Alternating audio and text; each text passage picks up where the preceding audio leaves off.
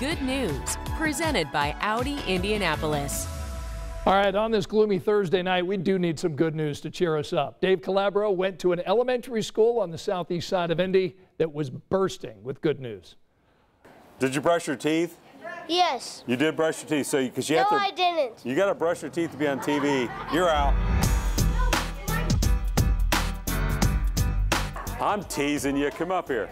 What's your name? Brooks. Hey, Brooks. Nice to meet you. So where am I? What's the name of your school? Arlington Elementary. Arlington Elementary. Are you guys like the Wildcats or the Panthers or the Flashes, what are you? We're the Flashers. Flashes, as in Franklin Central Flashes. Claire reached out to me and said, I need to come share the good news at Arlington Elementary. Why did you think this was the perfect place for good news? Because I've been watching the good news, Tell Us Your Good News segment since the pandemic and when we all needed such good news. And every time I watch it, I think, this is where you should be because our school, Arlington Elementary, is purely good news. Might bite you. What's your name? I'm Christian. Hi, Christian. Hi, I'm Zeta. Nice to meet you guys.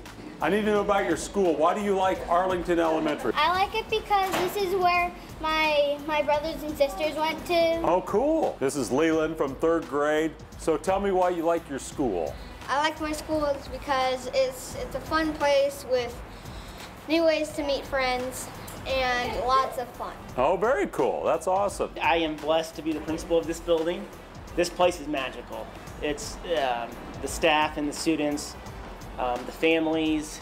You couldn't ask for better. All right, no, you got some. What's your good news today? I got in student council uh, like a month ago. Oh, that's great news. What do you get? What are you guys doing on student council these days? Well, uh, we did one event. We did a parade very cool. And you helped organize that? What's your name? Riley. Hi, Riley. I love your shirt. Thank you. It says Team Awesome on it. Are you awesome? Yes. Yes, you are. Tell me some good news. I love this school. You love this school? Woo, that's good news. Are there certain teachers here you like? Yeah, Miss Fry, my mom. oh, is your mom a teacher here? Oh, very cool. Ben, Ben's the choir director. First off, the ground rules are I'm not sing. I can't sing. Okay. Okay. All right. I was starting to sweat that one. Yeah. So, so tell me some good news. Uh, my good news is I paid off my student loans.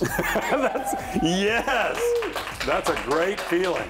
Anytime I ask them what's happening, it's not about something big that happened at home. It's about Mr. David, the bus driver. Yeah. What, what makes your bus so special?